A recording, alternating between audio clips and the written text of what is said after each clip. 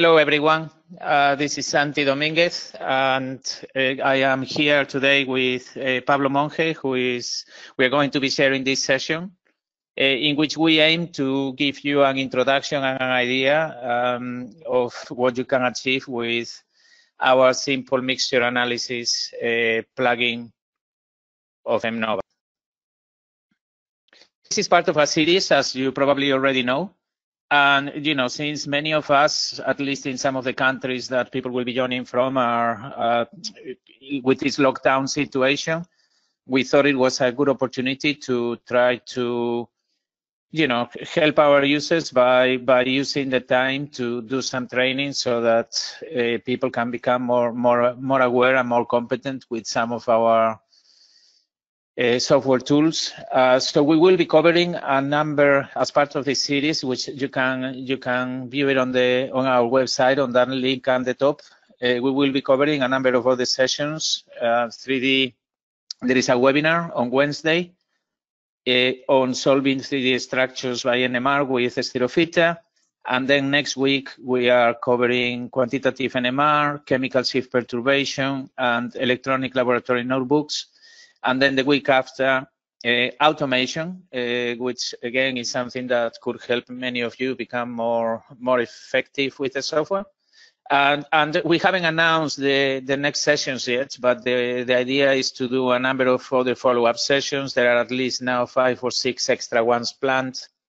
And I think Ike plans to send an email with an update so that people can start registering for a number of other things. So we will be covering mass spec, uh, NMR prediction, automatic structure verification, tips and tricks for using general MNOVA, and as well as uh, databases or making your data searchable uh, so that you can have access to it more easily.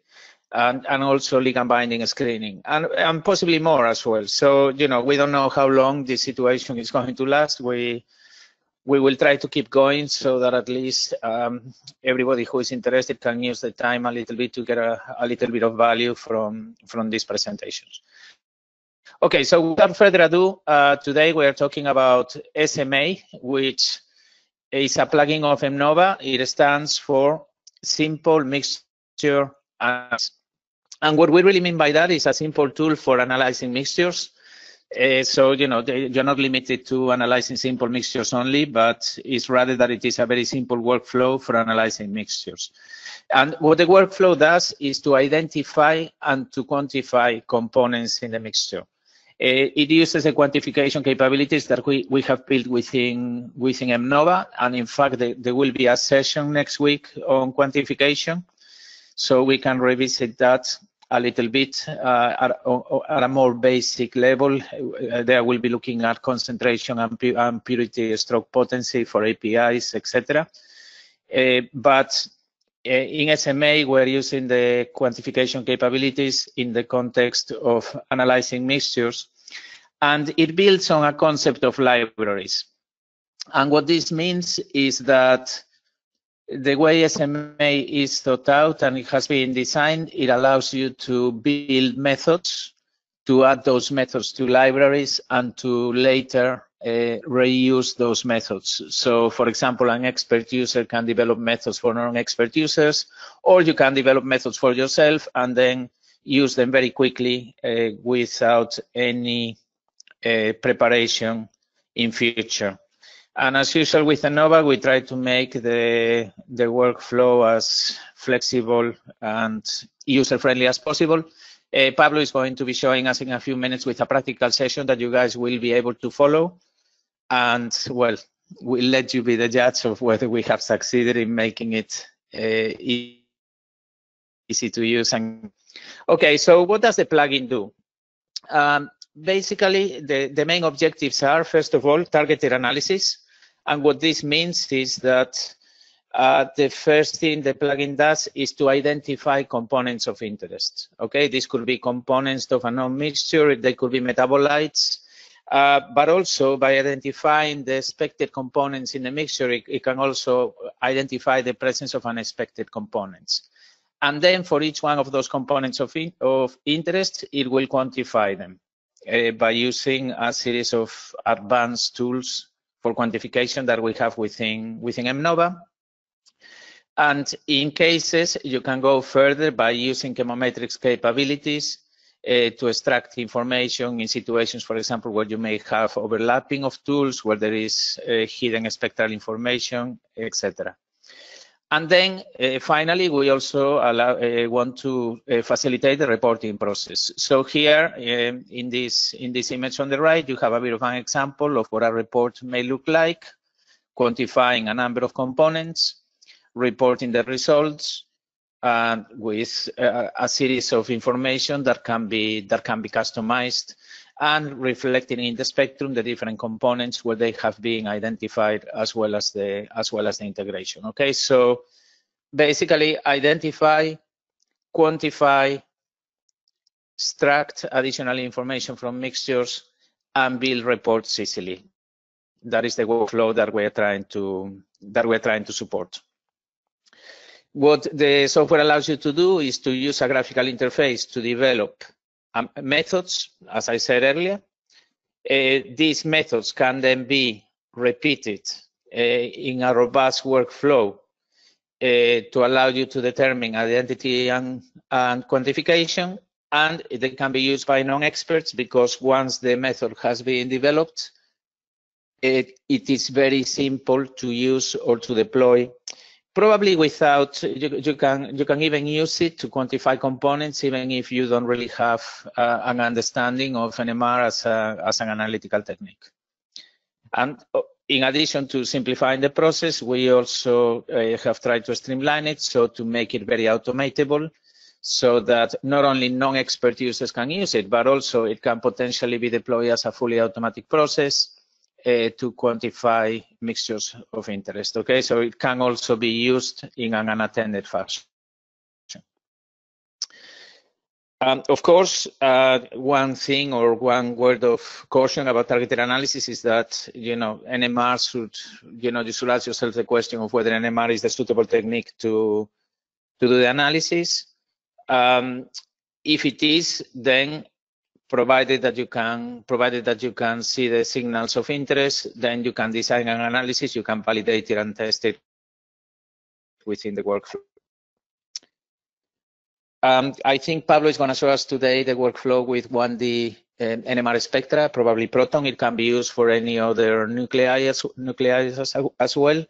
But and also we are implementing uh, 2D experiments as part of the latest version of SMA. Okay, so in situations where, for example, you may need more resolution and you may need separation that you don't get in the 1D spectrum, uh, you can also incorporate it to the to the spectra into the analysis. Okay. Now the maybe a, a, word on equations. As you will see when we show you the tool, uh, there are a series of predetermined equations for uh, which are quantification equations. Uh, we are we are trying to include all the standard methods that are established within the NMR community and are regularly being used for quantification. But there is also the opportunity for users to define their own equations. So for those more advanced users, and those equations again can be included as part of as part of um, a method that can then be used uh, or deployed to other users.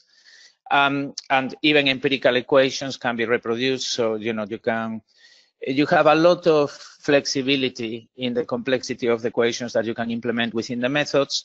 And as I was saying earlier, you can use combine multiple spectra uh, to be able to measure. Some things on the analysis, uh, you know, MNOVA is a, is a very advanced processing and analysis tool for NMR data. And there are a number of things that make it particularly uh, amenable for this kind of analysis. Um, firstly, of course, um, it can it can identify in the whole spectral range, but it can also I, it, it also understands the concept of multiplets. So you don't you're not restricted to only looking at quantifying peaks, but MNOVA can pick can group uh, peaks into multiplets and can therefore uh, work with the concept of multiplets or even the relationship in the in the in the quantification information between different different multiplets. Um, it allows you to exclude uh, ranges that uh, are undesirable, for example, because there is saturation, there is uh, maybe the solvent suppression is not sufficient, or maybe even because you have a lot of complication and signals and the compounds that you're looking for um, are not in that area. So you can you can store all these things. Uh, for example, the, the multiplets that you want to look at, the areas you want to ignore, etc. Again, as part of the method that can be used uh, that can be used automatically.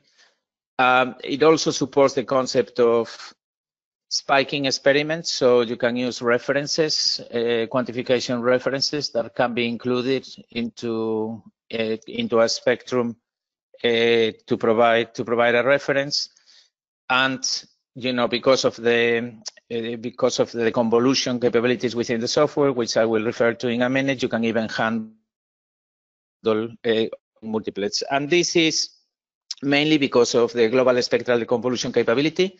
So when you use SMA, you are using all the power of the global spectral deconvolution. Uh, this algorithm will deconvolve all the signals in the spectrum and then group them in multiplets, and it will do so in full automation.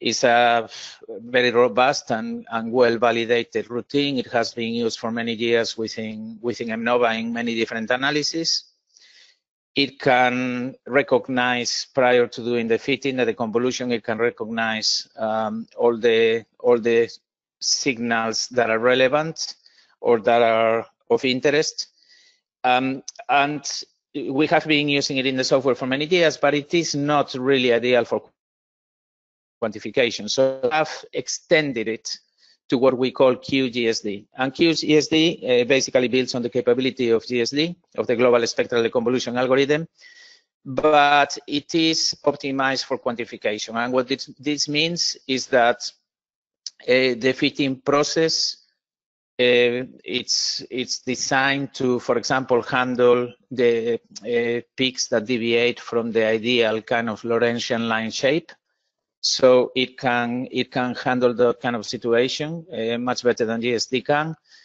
It does use the residuals to optimize the fit uh, for quantification purpose, and it can also make decisions automatically uh, on the convergence cycles that it actually runs. So it can it can work in a more optimal fashion from the perspective of uh, using the um, from the perspective of optimizing the resource, the computing resources that you have. Okay, um, it is very much involving in that evolving that direction, and we have tested it extensively from the perspective of quantification, and we have found it to be uh, superior to other alternative deconvolution methods, which are also available even within the.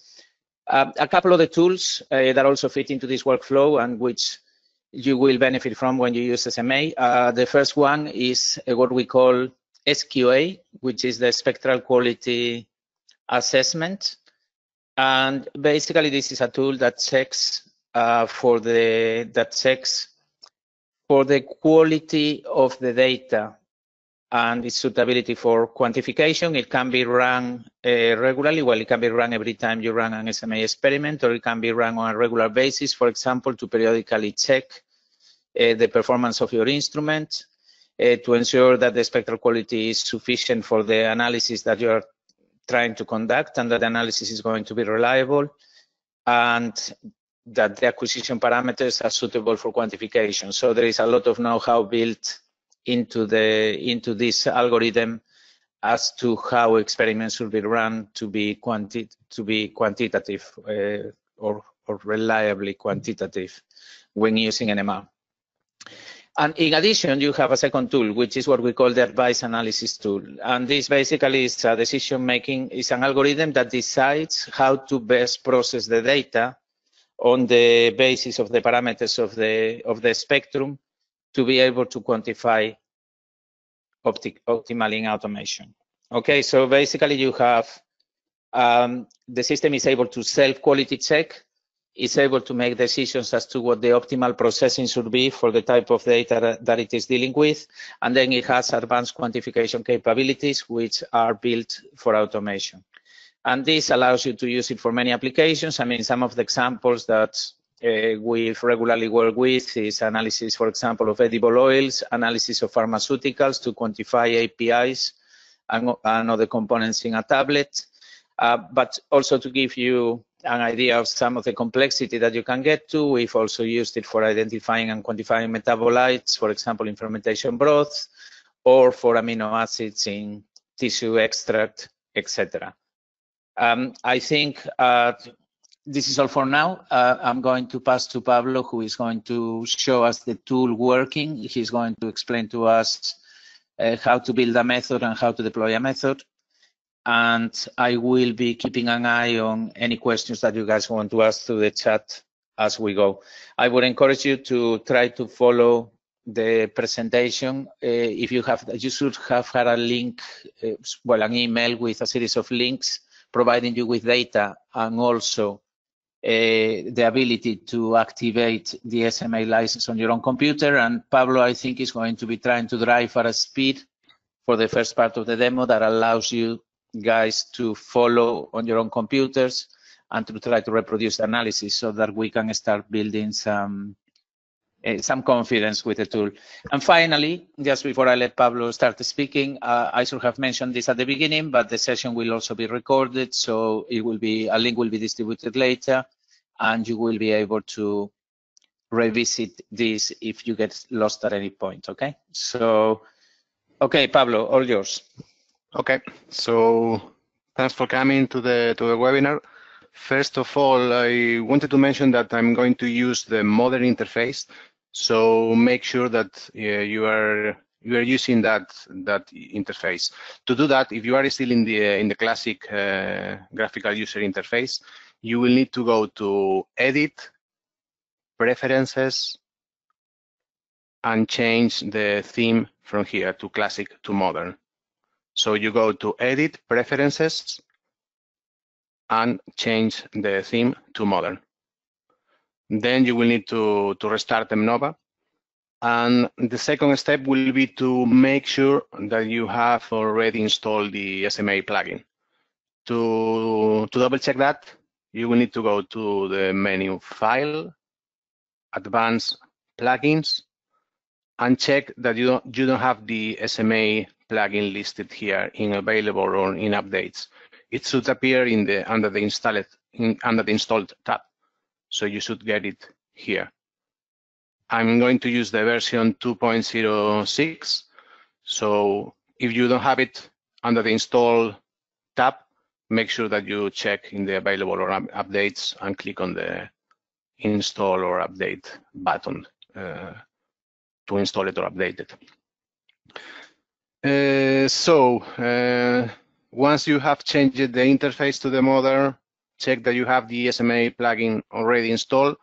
I'm going to, to load the aspirin uh, C document.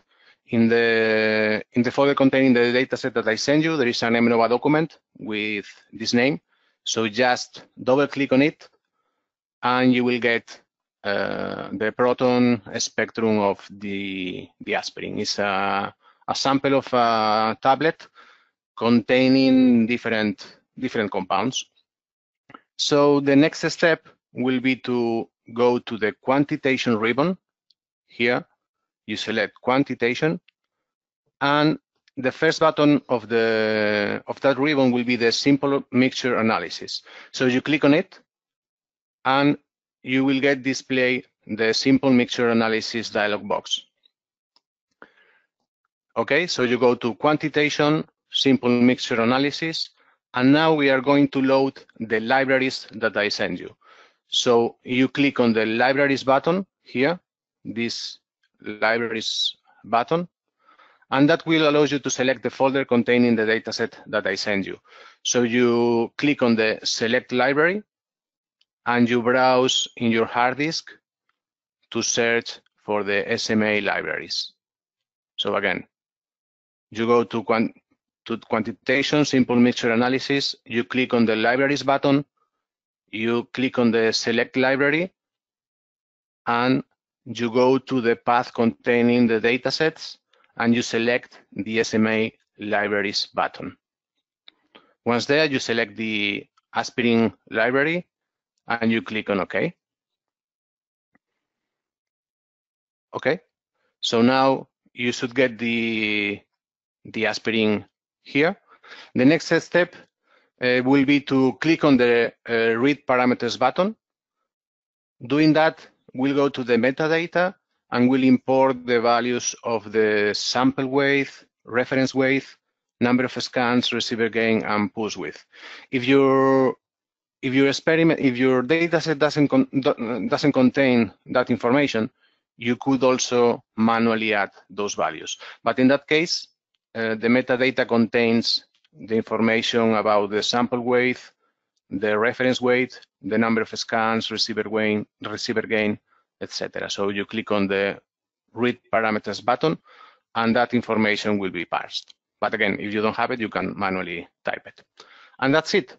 Once you have loaded the library and the information about the the sample weight and reference weight, you will only need to click on the Analyze Current Mixture button. You click on it, and you will get the results. Let me put it there. You will get the, the results of all the components of that mixture. You will see that all appears in different colors so we have the acetyl salicylic acid with that concentration, the salicylic acid, ascorbic, acetic, and citric acid.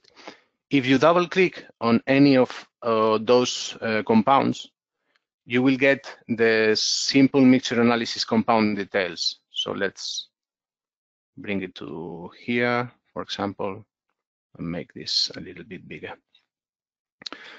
From, from this window, you will be able to, to check the multiplets that uh, you are using for the analysis.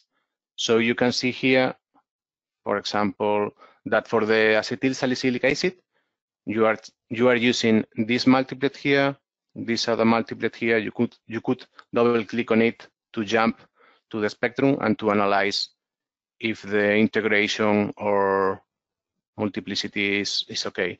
So you can check the integral values to see if any of the integrals is uh, wrong or whatever. You could move from from here with the blue arrow buttons to a different compound. So in that case, we have this salicylic acid. You could double check the integrals again by clicking on them.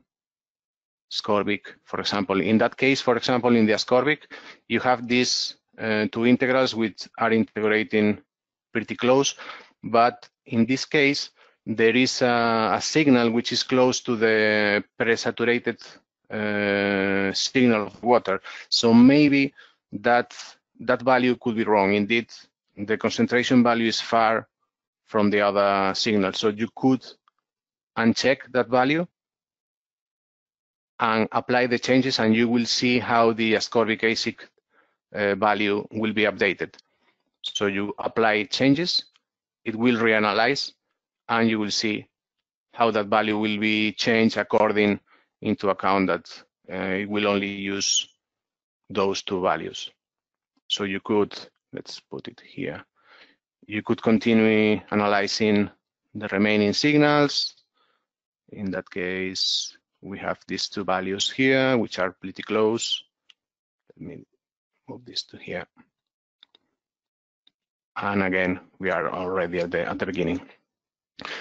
Obviously, uh, the most the most important part of the analysis will be the the implementation or the the building of the of your of your mixer experiment. So if you click on the edit uh, experiment uh, button, it will display uh, edit mixture button. It will display the information about your mixture. So in that case, we have uh, the first compound will be the reference, which includes information about the color, about the molecular weight, and about the formula, which is the one of the most important part of the of the mixture of, of your mixture. In that case, we have different options. So you could create a formula uh, containing concentration uh, information. You could also use mass, mass, uh, standard mass equation, purity, or even you could build your own, uh, your own, your own equation. Uh, the same for the remaining compounds. So in that case, we have the acetyl salicylic acid with information about the multiplets that appear on your mixture. So you could uh, include those multiple ranges, uh, the multiplicity of the multiplets, the J couplings, and the integrals of those multiplets. So you you will give in the description of all the multiplets that you want to search in your in your mixture. The same for the salicylic with the information about the molecular weight. You can change the colors. You can select the colors that you want to be appear on your screen.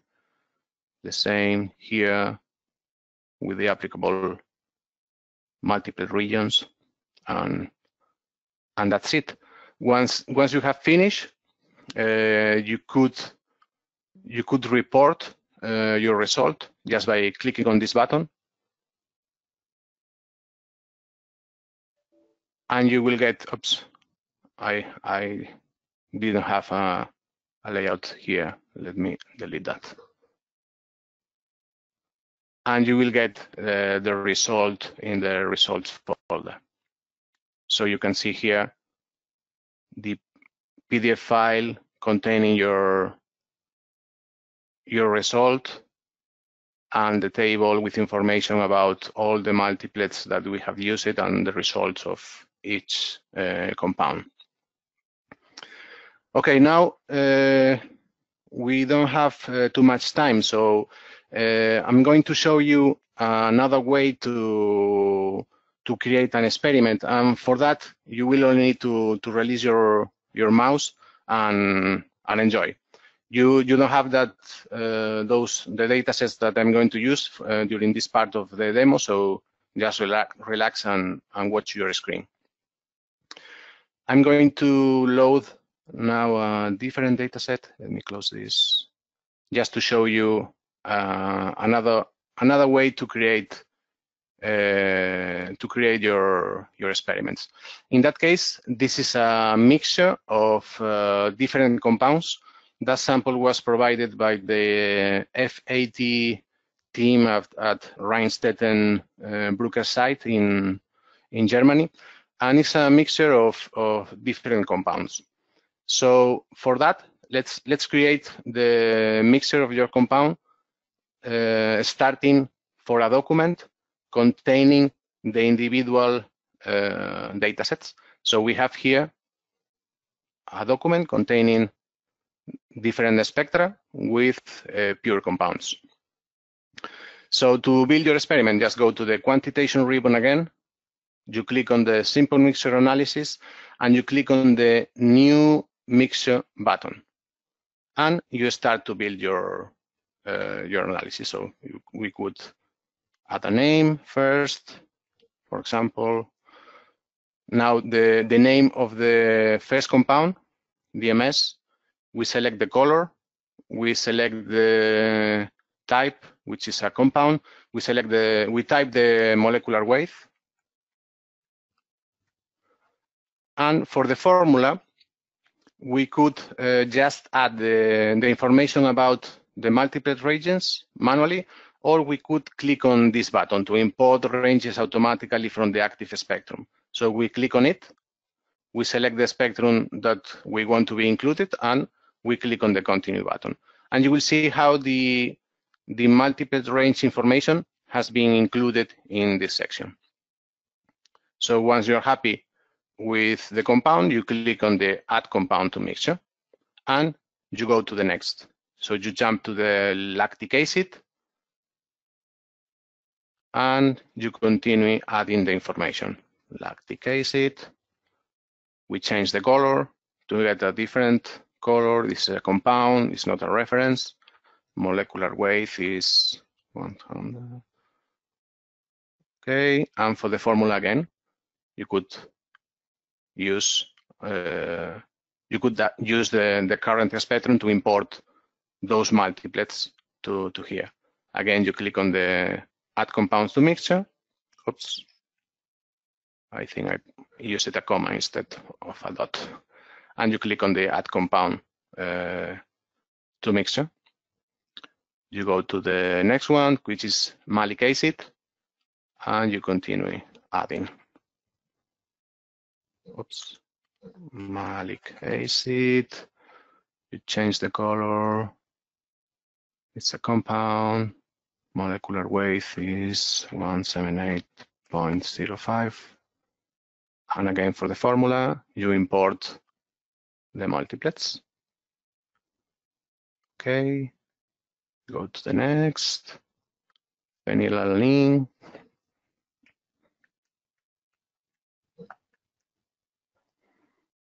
We change the color. Okay, it's a compound, molecular weight.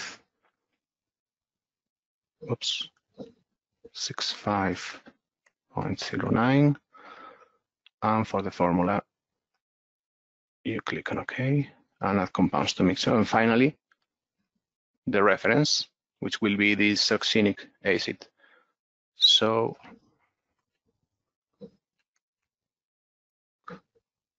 oops, succinic acid, it will be my reference. Let's select here the reference, and again for the formula from current spectrum. And finally, add compound to mixture. And that's it. We have uh, easily create a mixture from, from the data set that you have in an MNOVA document. You click on OK, and you will get the, the mixture. Another way to, to create uh, your mixture will be to, to search in, in a database that you have previously perfilled. So imagine that you have a database with uh, different compounds. And uh, let's create a new mixture. And let's use the assistant for that. We click on the assistant button, and it will it will appear uh, this uh, mixture creation assistant, telling you that you are using this document, which is this one, to, to search in your database uh, for some information. So let's connect to the database, which contains uh, different data sets. And we have the capability to, to search by test uh, or to search by peaks or multiplets. So let's search for those peaks in our database. Once the searching has finished, you will see that uh, in that database, it found five compounds. So you can you could click on the view all button to display uh, those data sets in stack in stack mode. So you will get a an stack mode of uh, of the mixture and of all the five spectra that MNOVA has found in your in your database. So it will allow you to select if the match is correct or it could be a false positive, for example. So once you have the once the the search has finished, you will get, uh, let's move this to there to expand. Let's put it here. You will get uh, this stack plot and you could easily check or to visualize if if the compounds if if those spectra that are in the in the database are matching with the with the experiment. The the spectrum at the bottom in black is our mixture, and the first spectrum here in red is the succinic acid. So we have here that uh, there is a could be a match here. The same for the phenylalanine in yellow. So we have peaks here, here, here I don't know, for the DMS, we have a, a green peak here, which appears in our mixture, etc. So once we are happy with the, with the result, uh, we could add to working document and add to current mixture.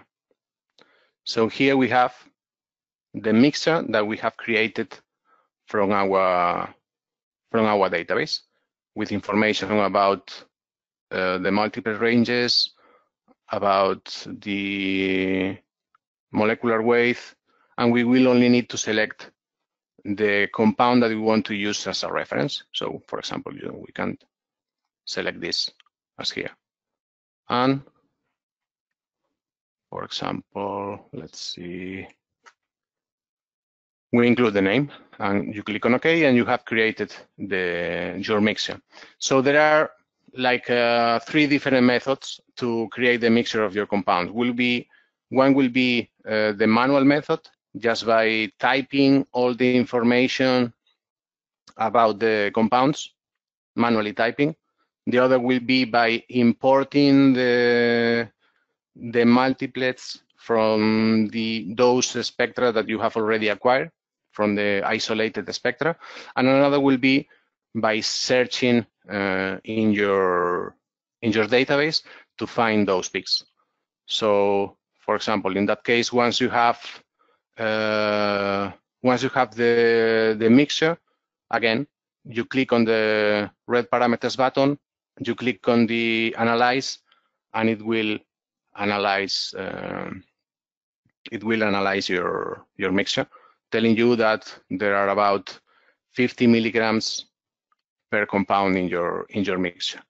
And again, you could check uh, you could check in the in the results uh, to see the integration of all the all the signals. So you could change here to navigate through the different compounds in your in your mixture and to check that the results are very close integrating one or another signal.